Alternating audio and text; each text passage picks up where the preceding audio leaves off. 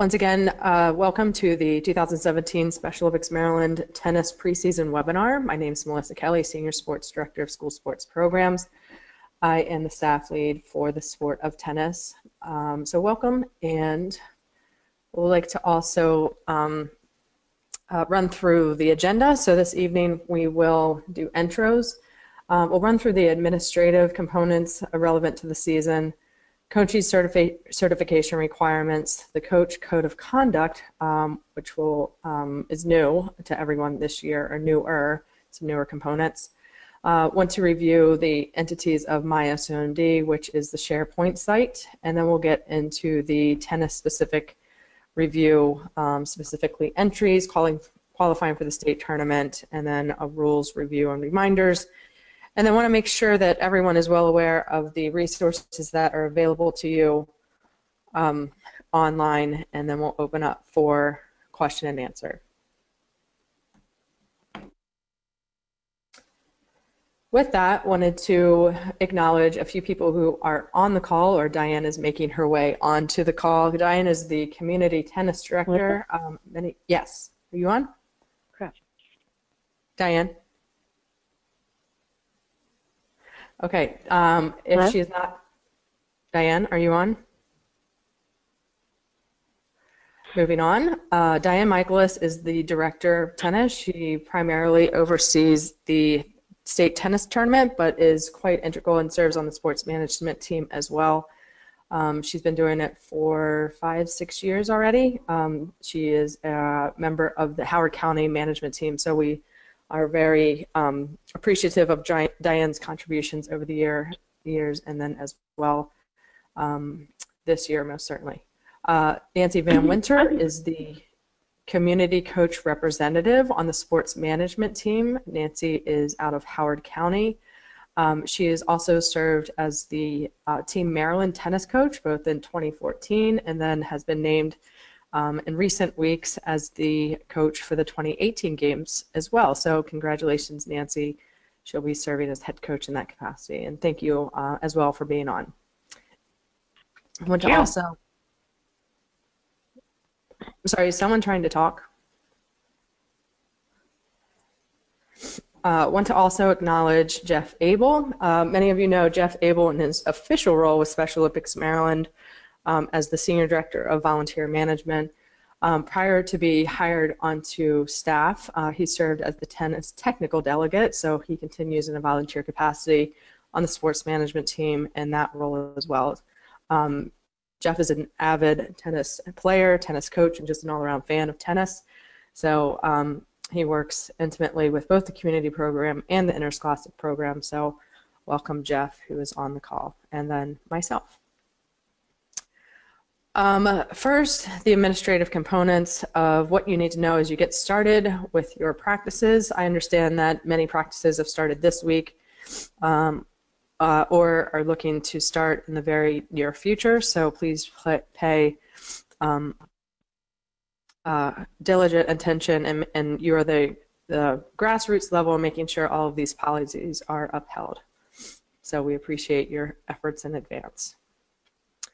The registration deadline, so these are the deadlines that you definitely want to have on your calendar and work to have these deadlines met even uh, a few days in advance. These are Special Olympics Maryland deadlines.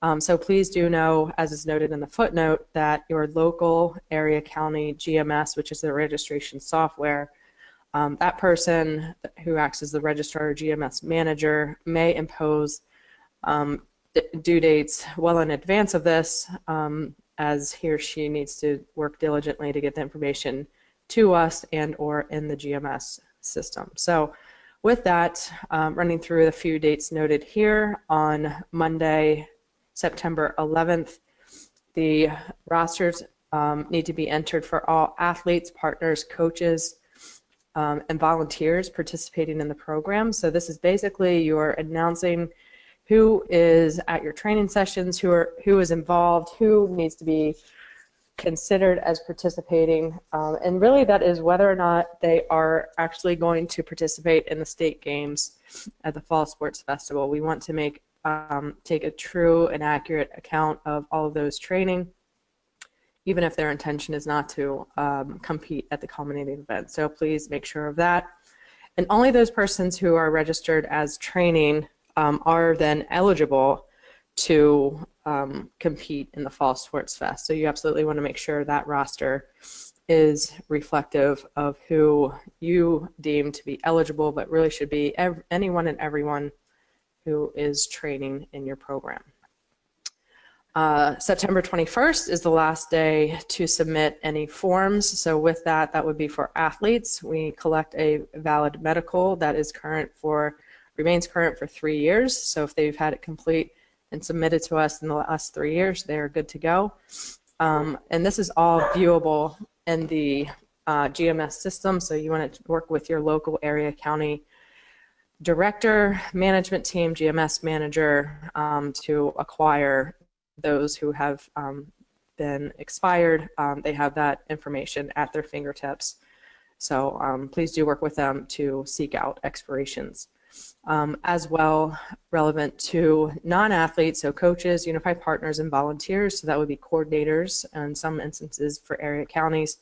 They must complete um, a volunteer application, and that must be valid through the date of the Fall Sports Festival, which is October 21st, and that has to be on file at our headquarters. Um, all coaches, both assistants, so anyone serving in a coaching capacity, must have their concussion certification completed and submitted to our office as well by this date, and then head coaches must have their Special Olympics coach certification for their specific sport completed as well. Uh, and then lastly, um, October 5th, uh, the delegation members, team rosters, and their event entries must be in our registration system, uh, GMS. Um, any athlete or partner without an event will be deleted from the games because naturally we would assume that if they're not in an event, then they are not competing. Uh, there is one other deadline that's not noted here, but we'll get to that a little bit later in the presentation please know, once again, uh, you are uh, the boots on the ground, you're in the grassroots level, you are talking with family members, athletes, unified partners. Please, we need to all work together to make sure that no athlete or part or volunteer, including unified partners, participate in any manner with Special Olympics Maryland without the valid uh, paperwork. So, um, and there is no exception to this. You're you're putting yourself at risk personally if you don't ensure that this is um, adhered to, uh, and then as well the organization. So please make sure that that happens. We realize if someone shows up without the necessary paperwork, it really tears at your heartstrings, and you want to. Uh, what what's the harm in letting them hit around some or, or something to that effect? Um, but really, there is harm to it if something were to happen. So please make sure that that um, that we have the necessary paperwork. Uh, once again, um, all of this information, your area leaders are well aware of the expectations. There really is nothing new here. Um, so please work with them, again, to acquire the deadlines, acquire the necessary forms, so on and so forth, and, um, um, and your um, area county leaders. Uh, once again, this is um, somewhat just some added detail relevant to the forms that are to be submitted for athletes. So every athlete must have a current application for participation. So that is the athlete medical. Um, in addition, the athlete is um, to be eligible for competition at the state level must have that medical submitted by the deadline, the aforementioned deadline. And it must be valid through the competition date. So make sure of that. The golden rule, uh, the golden date is October 21st, once again, the Fall Sports Festival date. Um, there, um, and then references to what uh, is considered to be valid, so must complete all three pages, necessary, necessary information. So no blanks, it must be completed in its entirety, and then also the necessary signatures, both by um, a medical professional and family member, um, and uh, just make sure it's completed in its entirety, folks. Thank you. So this is a screenshot of page one of the medical. Um, this is a newer form, so um, uh, please know um, and collect these back. Once again, your area county leadership does have these forms at their uh, disposal.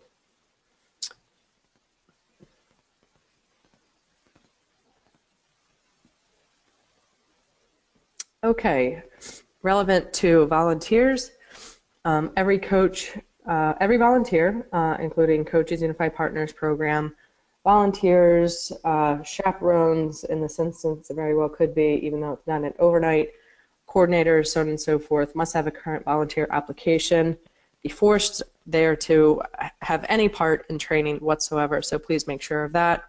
Um, and then Special Olympics Maryland will complete a criminal background check for the volunteers and um, once the volunteer the volunteer must successfully pass the background check in order to participate in Special Olympics. So uh, should be very fairly obvious why we do this. We want to make sure everyone is safe, um, athletes, partners, volunteers alike. Um, so please make sure that that is um, these expectations are met. And then some added information. So we, I do realize that we do have some youngsters, so those under the age of 18, um, commonly unified partners, but in other capacities as well. In this instance, um, that individual needs to also complete a volunteer minor reference form and obtain a signed reference from two people with whom they are not related, so um, a viable reference, so that would be uh, a neighbor, a teacher, a coach, um, you get the idea. Um, once they complete this, um, these steps, the volunteer application and screening is valid for three years from the date of the screening. So um, hopefully that provides some relief and some motivation to get it done because um, you'll be good and in the clear for three additional years. With regard to hey, coaches, yes. Hey, Melissa, this is Jeff. Sorry, real fast. Just one clarification there, especially with minors. Um, um, an individual who is under the age of 18, their volunteer application is valid until their 18th birthday. Um, so for some people that could be um, one year. For some people that might be um, five years. Um, but the key is when they're 18, when they that's when they need to refile an adult application. Um, so that's the only variation from that three-year rule, um, which applies to um, adults who volunteer with the program. Okay, great. Thank you, Jeff.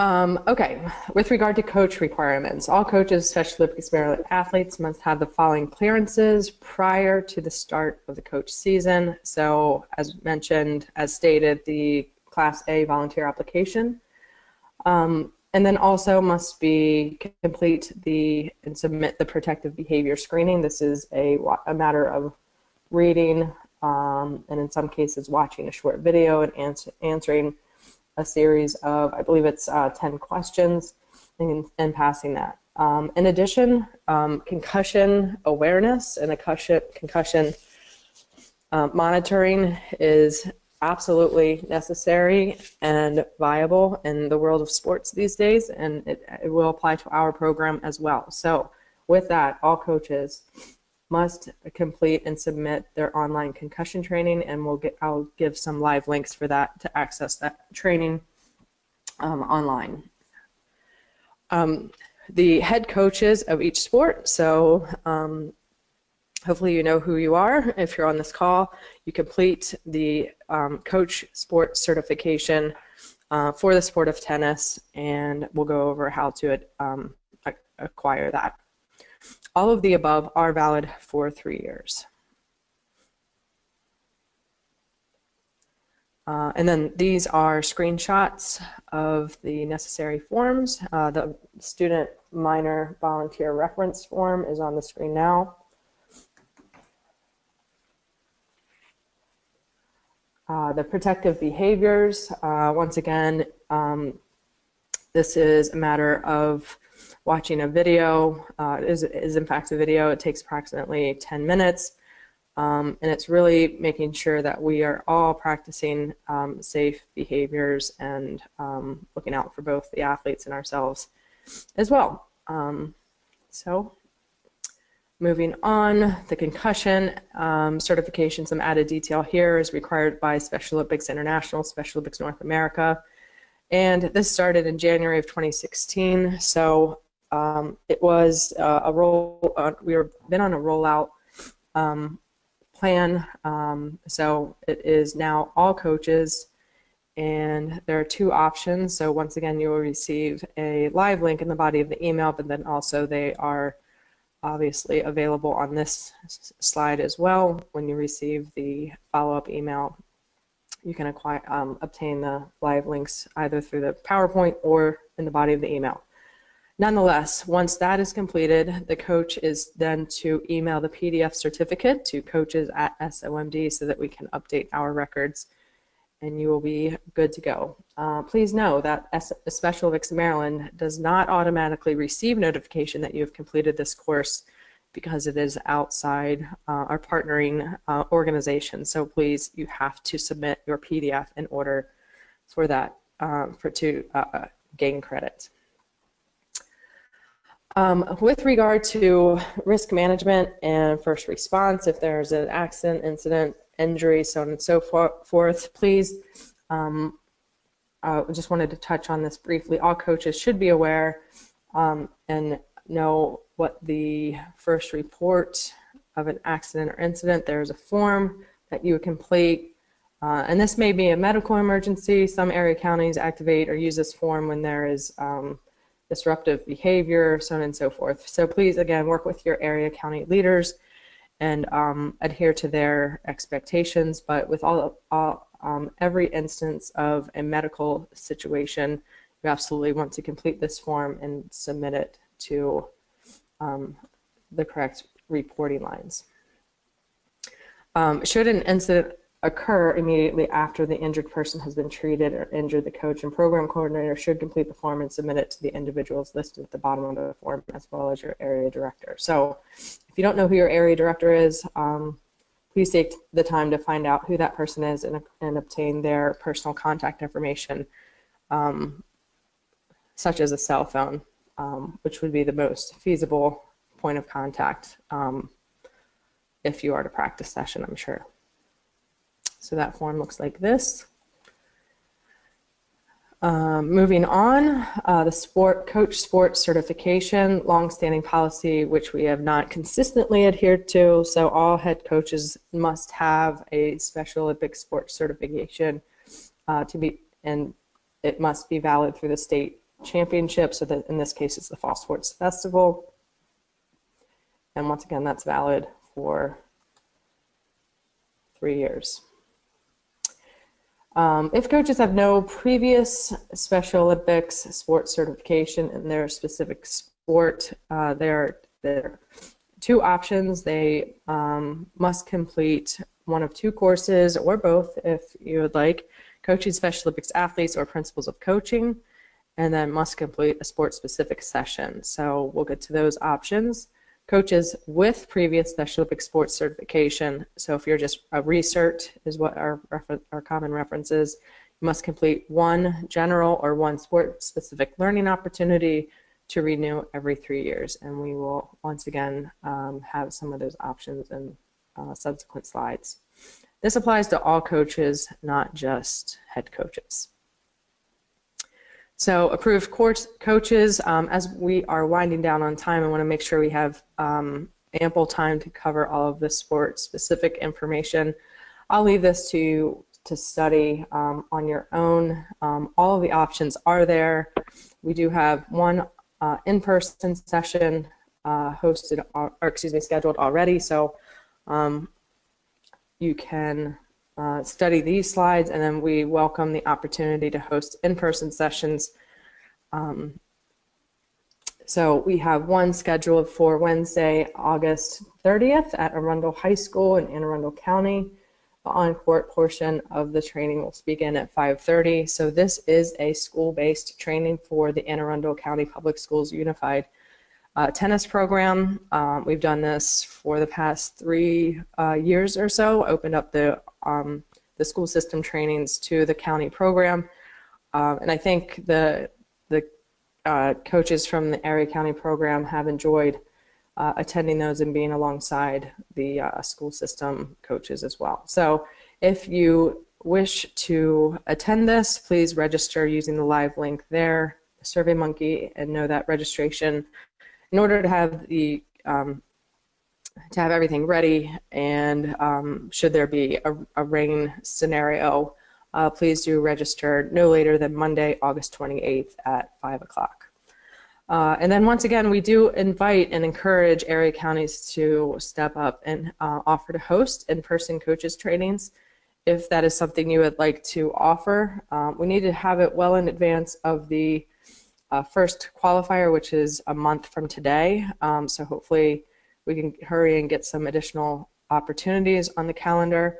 Um, but please let me know if you would like to host an in-person training. And we have um, an exceptional partnership with the USTA, so it's really likely not um, any hardship to get a, a, viable clinician out for that. So, but please do get me your dates if that is something that interests you. Online sessions, uh, there's a program uh, offered through the USTA coaching coach youth tennis. Um, uh, and this is a program so it, while we do have um, adults uh, in our program, uh, there is uh, there are viable and very um, um, appropriate skill progression drills and such through this offering. So this is an option to acquire your coach's certification. Uh, and then as well, all of the pricing um, references. So in the sport of tennis. You have coaching youth tennis and then coaching tennis technical and tactical skills. So um, the youth tennis is free and uh, would you would receive your recert if you complete that. Moving on to the coach's code of conduct. Um, this is uh, has been um, a discussion point on the uh, Board of Directors, Special Olympics Maryland Board of Directors uh, Sports Subcommittee. So wanted to share this information with you and the expectation of your behavior. Um, and please know that we are not exclusive to coaches, so know that we are working through a co code of conduct for athletes, uh, unified partners, volunteers, and even family members. So, but just um, given that this is the coaches preseason webinar, I wanted to remind everyone that good sportsmanship and um, respect for all and the various drill down expectations um, remind you of that as we enter into this fall season. So everyone's been really great about that, um, but um, there um, is some added formality and uh, we want to make sure everyone is well aware. So I won't go through that uh, line item by line item. I'll leave that in your capable hands to review and um, ensure that your um, conduct is uh, in compliance. Moving on, my SOMD is the SharePoint site offered by Special Olympics Maryland. Uh, this is a screenshot, so this doesn't look much different than what you've seen before. For those of you who are returning coaches, um, strongly encourage you to um, double check your credentials to make sure you're good to go and viable. We have had an upgrade in recent weeks, so please um, go ahead and access that. So this is the um, the idea here for anyone who's not familiar in the SharePoint site is that it's basically a folder or drive in which we load all of the necessary details, documents, schedules, and such onto the site so that it is at your fingertips available to you rather than digging through your emails or filing emails or um, just having uh, an abundance of emails because you're um, um, for, for whatever reason. So with that, the SharePoint site is, um, like I said, upgraded, so I just wanted to review that yet again. So the logon looks very similar, um, access through somd.org and look for um, the my SOMD icon at the top navigation, the banner. Uh, then click on login. So if you have had credentials in the past, you can click login. If you are new to the program or if you're having trouble with your login, there are the appropriate selections there just under the login option along the right navigation. And then once you have submitted your form, um, if you're new, you will receive an email notification um, that your request has been submitted, and then within approximately three business days, you'll receive your username and password. Sometimes it's faster than that.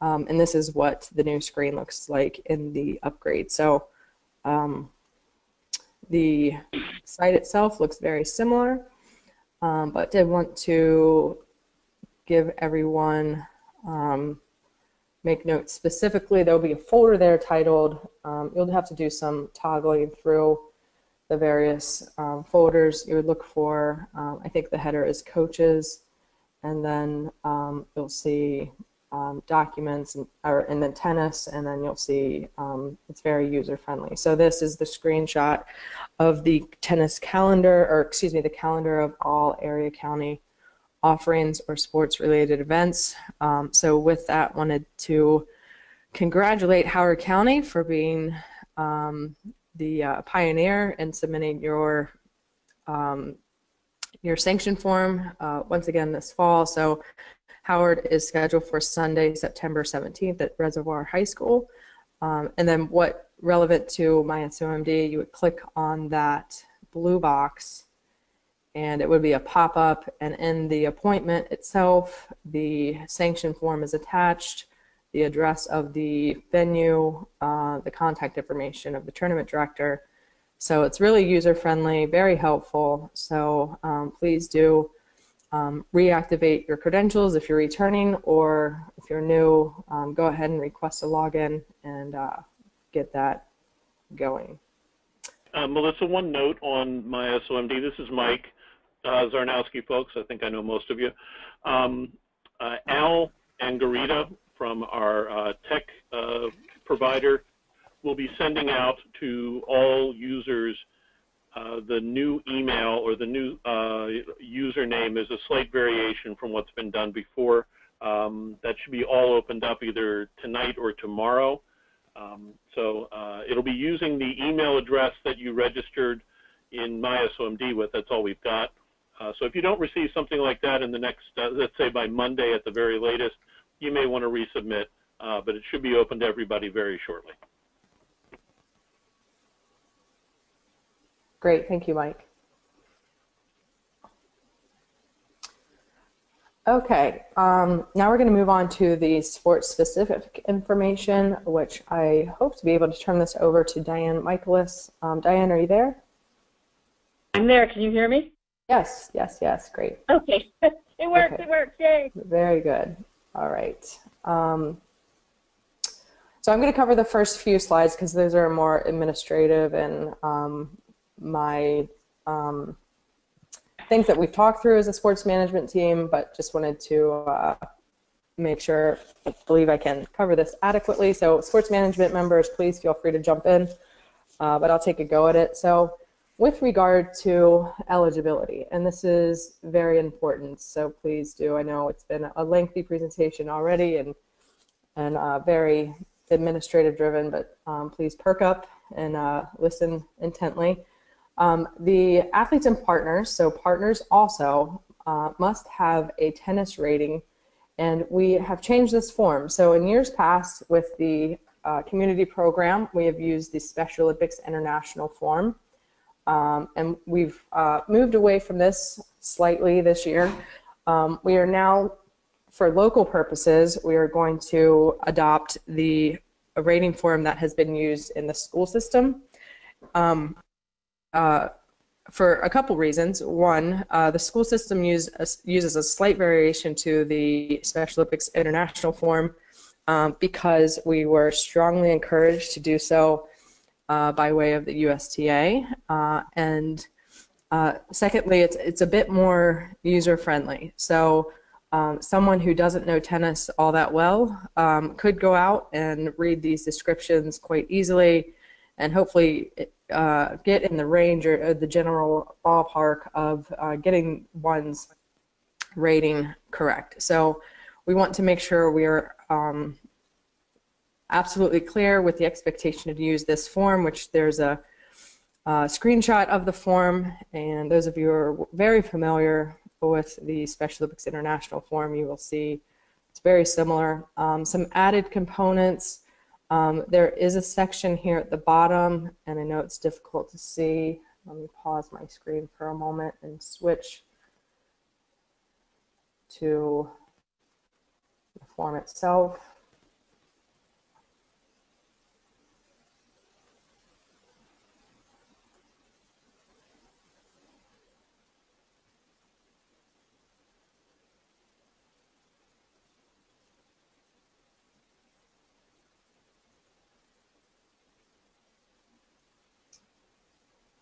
Okay, I'm not sure if this is much better, um, but here at the bottom, it's the rater's level recommendation, and he or she would check one of the options. So if um, one is um, most appropriate to play individual skills, he or she would check this box, um, short court, uh, full court green ball, excuse me, that should be level four, so I'll make that correction before I send that out, or full court yellow ball.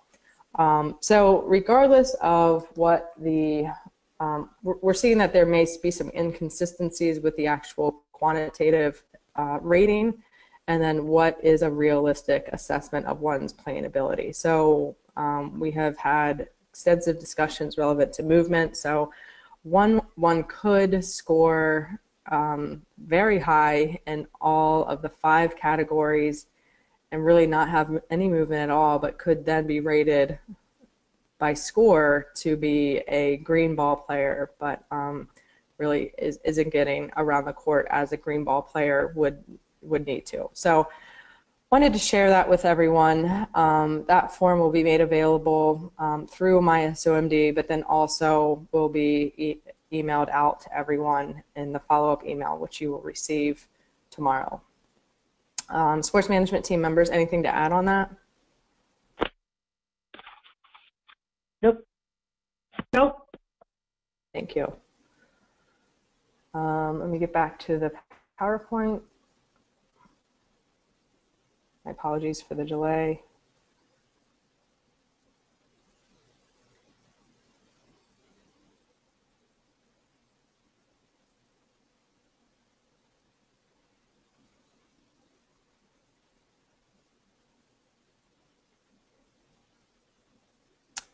Okay. Okay, um, moving on to the next slide. Athletes and partners must compete in the minimum of two sanctioned qualifiers in order to be eligible to compete at the Fall Sports Festival. One qualifier must be a sanctioned multi-program or multi-area county qualifier, and one may be an in-house qualifier, so that would be exclusive to uh, one's home, if you will, area county. Um, regardless of a multi-program or in-house qualifier, um, you must have the following criteria met in that there is sufficient number of players available to provide appropriate match competition. Officials are in place and proper scores being um, maintained and then as well the appropriate rules are being followed and then the scores are recorded and submitted as a follow-up to our headquarters.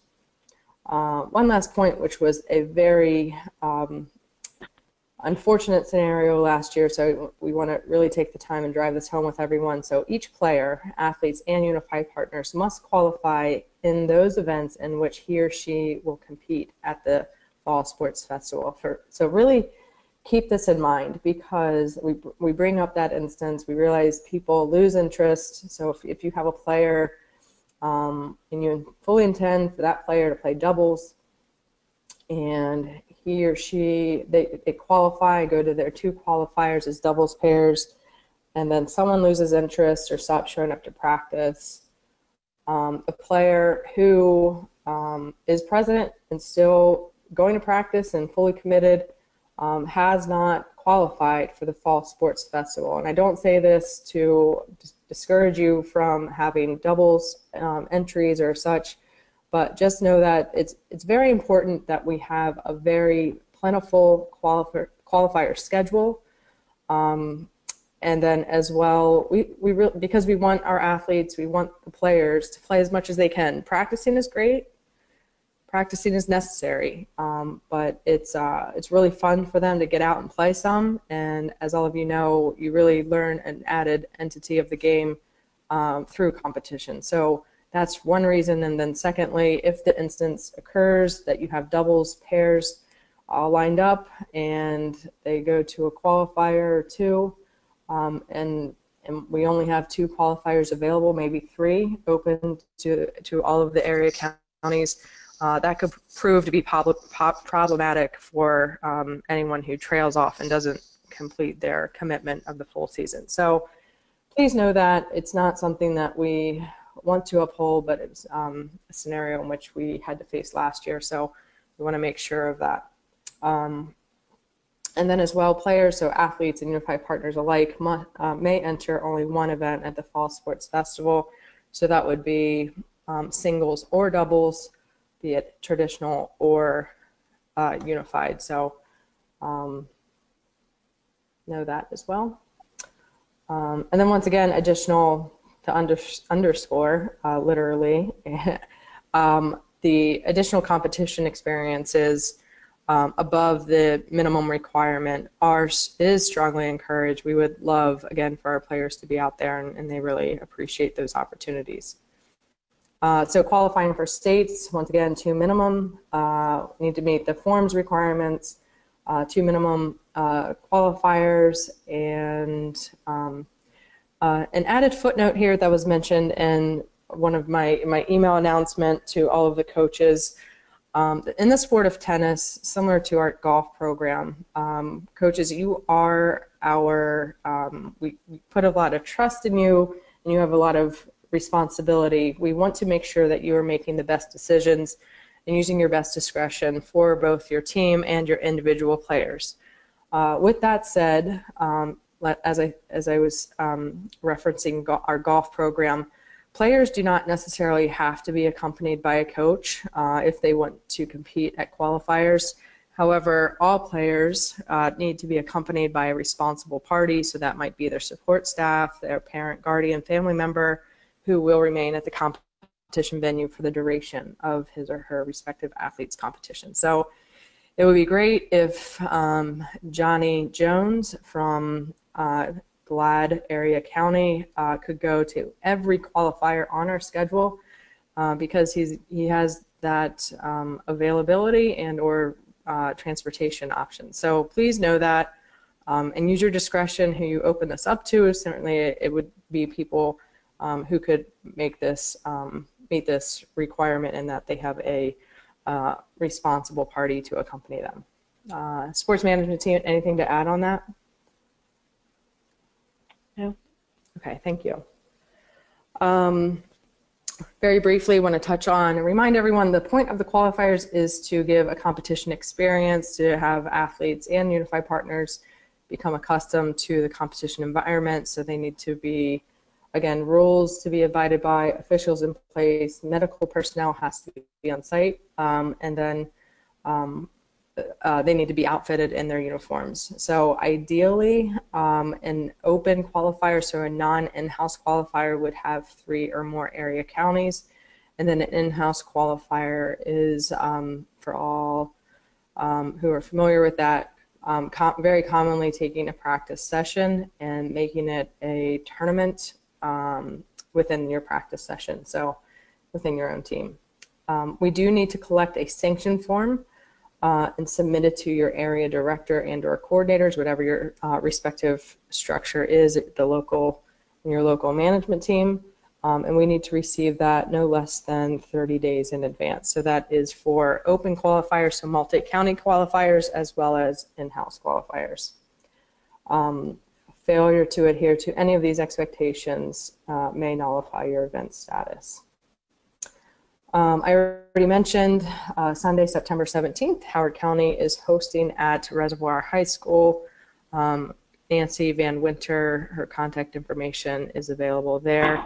Uh, we are eager to announce additional qualifying opportunities, so please send us your dates. Uh, send me your dates. If you haven't completed the forms, but you have a date in mind, please let me know. Um, with as few weekends as we have in the fall, we don't want to um, double book ourselves and such. So if you have uh, dates in mind or dates confirmed and you just haven't processed the paperwork, please shoot me a note.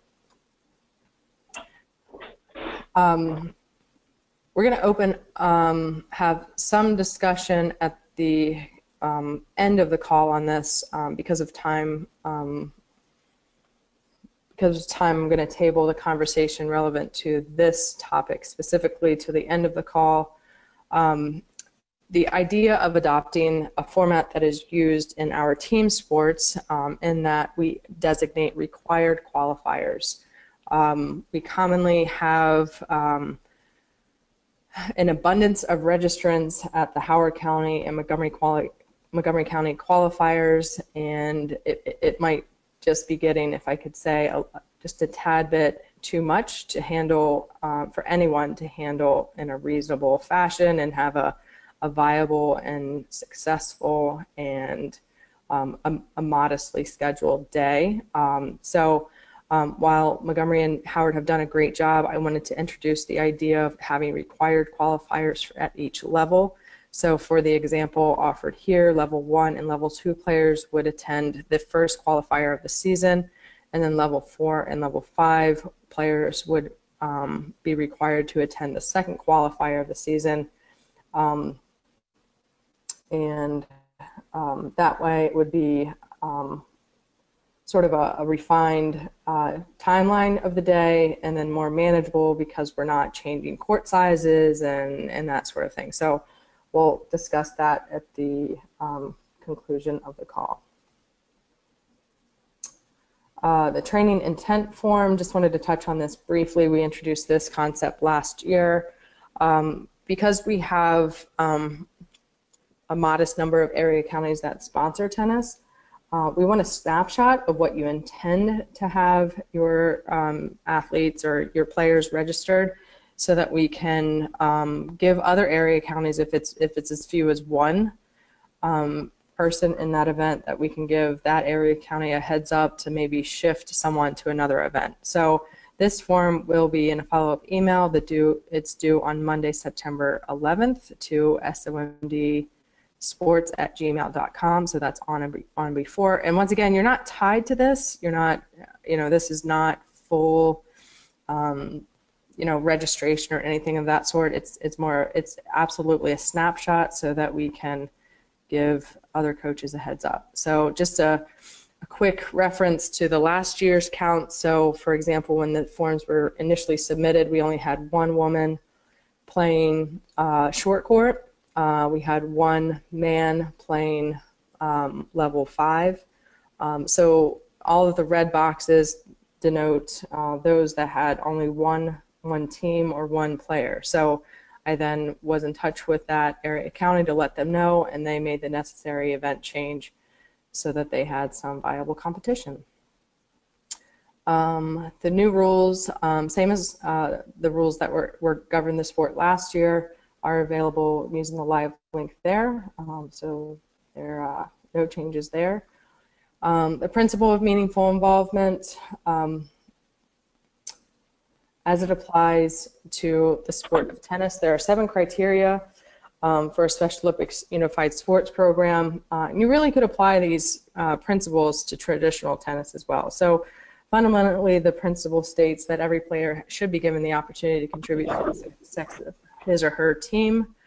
Um, with that, demonstrate sufficient sport-specific skill, game understanding. Players uh, have a, a, valid, a valued role uh, and emphasize their personal talents and an opportunity to play without heightened risk.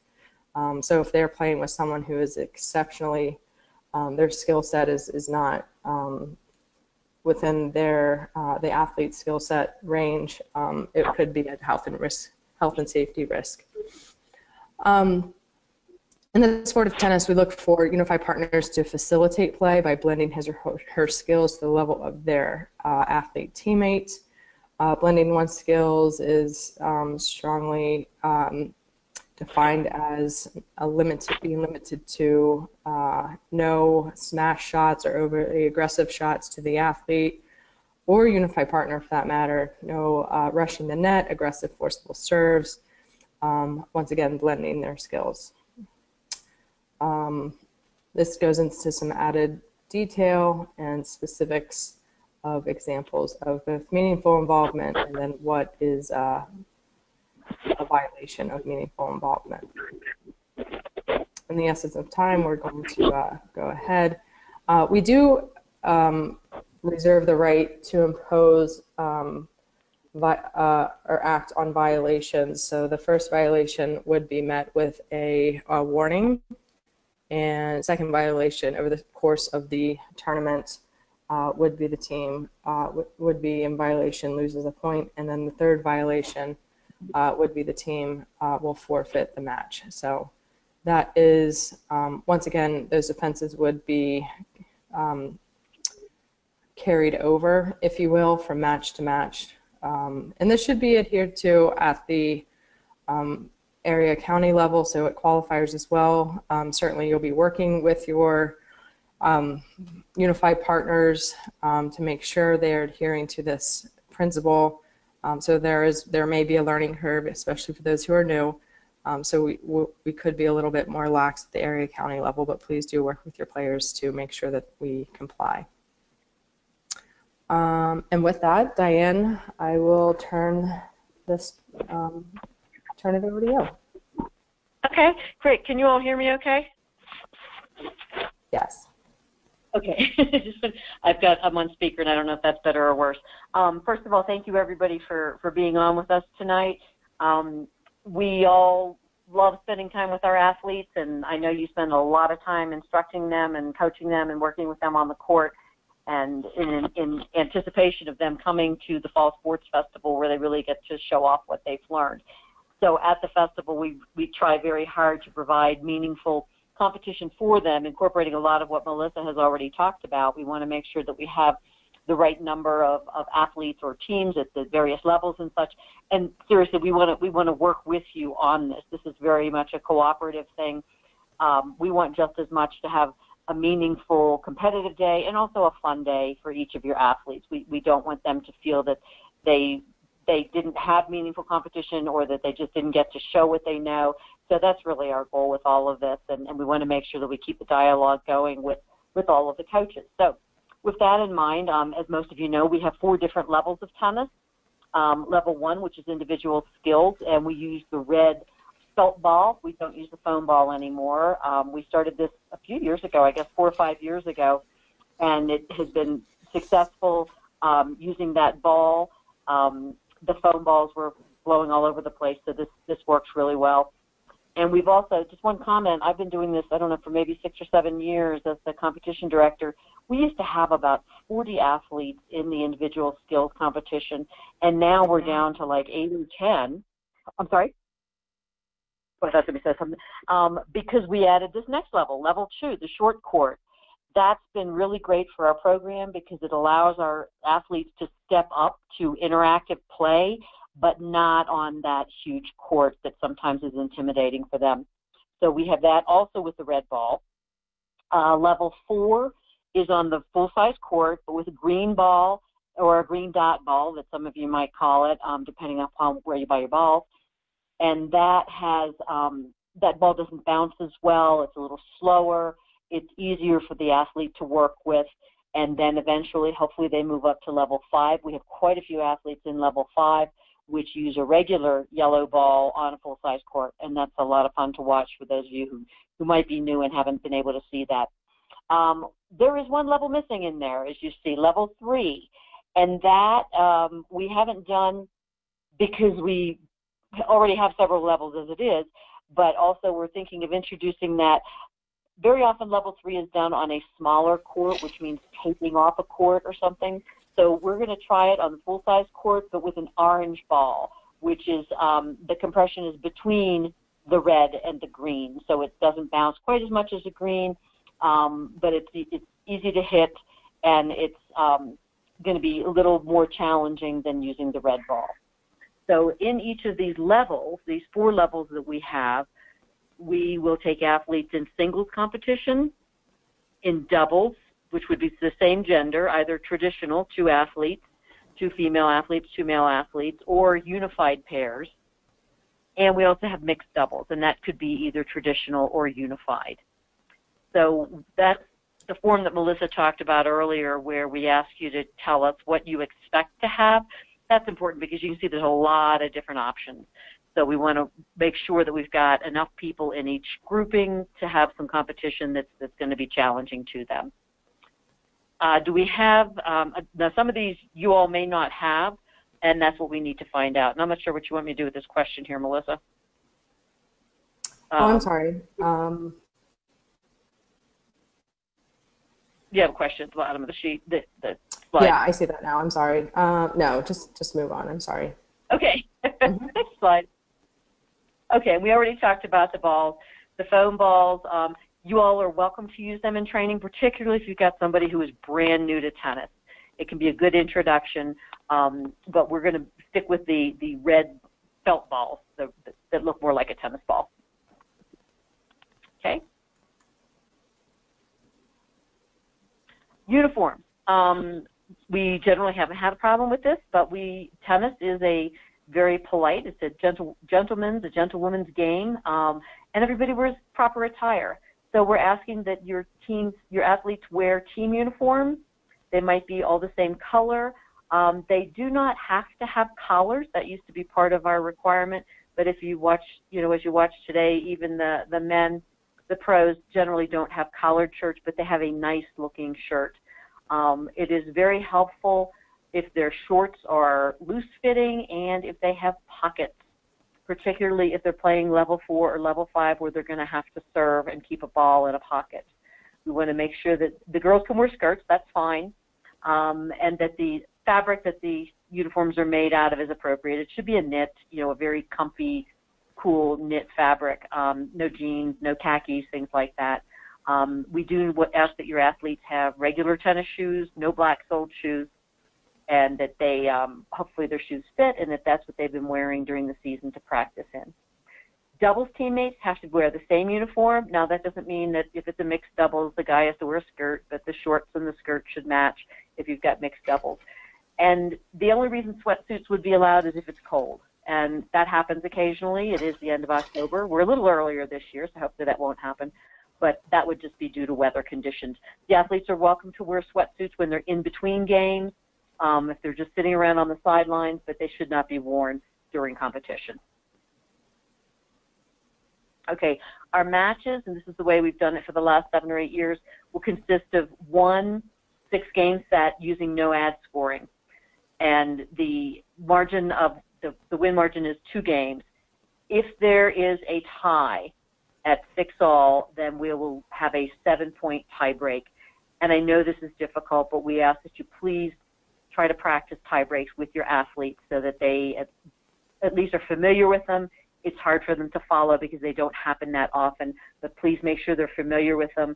Do some drills on tie breaks, talk a little bit about the scoring and about what happens um, so that they are they know what's going on in case that has to be used. Okay, no ad scoring, so it's really the first player to, that wins four points. Um, the um, that'll be used for all of our matches, and we in the state games, state uh, competition use traditional tennis scoring of 15, 30, 40, and uh, game. So we'll go with that, and just remembering that there's no ad. And so the seventh point of any game would be a game point. Tiebreak procedure. Oops. Oh, okay, I'm not sure if we have a player rating system here, but oh, here's tiebreak. Okay, so this is if our uh, the athletes have the same number of matches won. This isn't for a, for a tiebreak in a game or in a match, but when they have the same final score, we will look at the fewest number of sets lost in all matches, and this does happen when we're when we're tallying up all the scores. The second criteria will be the most games games won in all matches. The third criteria will be the fewest number of games lost in all of their matches. And the fourth, if we actually have to go to that, would be head-to-head results, particularly if it's um, in singles, how, who, who beat whom um, during the, um, the tournament. These I really, really recommend. If you um, haven't, if you've taken online coaches training, that's great. I did the ASEP training myself a number of years ago. It was it was informative. But please go onto the Special Olympics website and look at some of the resources you have there. There are um, coaches' resources, the, the coaching guide, things, the online tennis guide right there. And it's got videos embedded in it now. It can help you get familiar with the rules, um, planning your training session, coming up with some drills, and some things to emphasize that you might not have thought of otherwise. And it's helpful to just every now and then go in. It's a lot to read in one sitting, so you know I would say bookmark it, and every now and then just just go in and see what's there. And also encourage your assistant coaches to do the same thing, because if you're like us, I, I volunteer with Howard. We're out, all out on different courts, and if you run out of things to do with the athletes, you, and you think, oh, I read about this, you know, particular drill or something, that's always helpful to bring something new to a practice.